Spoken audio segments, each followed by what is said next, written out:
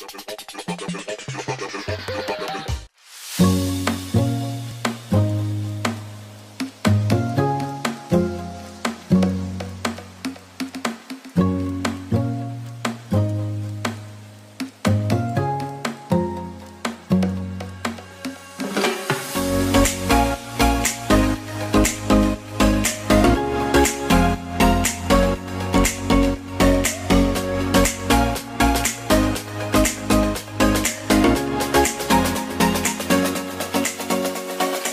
Hey gengs, kali ini kita akan terfokus kepada Singapura yaitu kota macan di Asia Tenggara.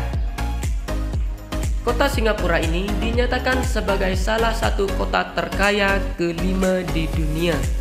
Dan sekarang kota ini menjadi sorotan dari berbagai penjuru karena sistem ekonomi dan bisnis yang sangat menjanjikan gengs.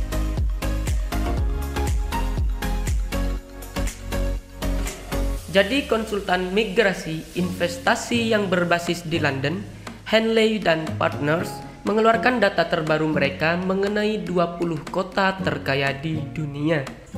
Dalam websitenya, diperkirakan ada penambahan 2.800 high net worth individu pada tahun 2022 ini.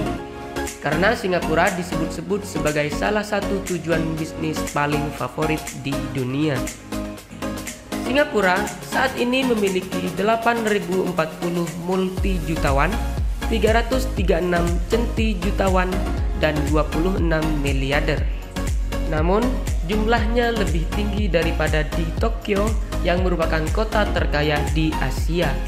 Ini memiliki 7.350 multi jutawan, 263 centi jutawan, dan 12 miliarder. Akibatnya, Singapura menjadi salah satu tujuan yang paling diminati untuk pendirian kantor, baik untuk kantor keluarga hingga kantor cabang Asia Tenggara. Karena itulah pasar perumahan di Singapura selalu meningkat, gengs. Tren terbaru saat ini, ekspatriat dari Hong Kong telah pindah ke Singapura untuk prospek dan kehidupan yang lebih baik.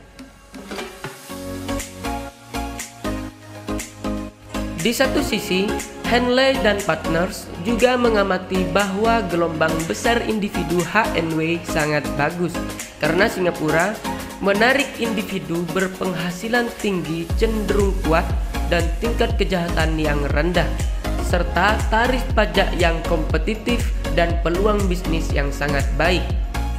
Jadi HNW Cina dan ekspatriat dari Hong Kong mengincar Singapura sebagai tujuan pilihan untuk bisnis masa depan.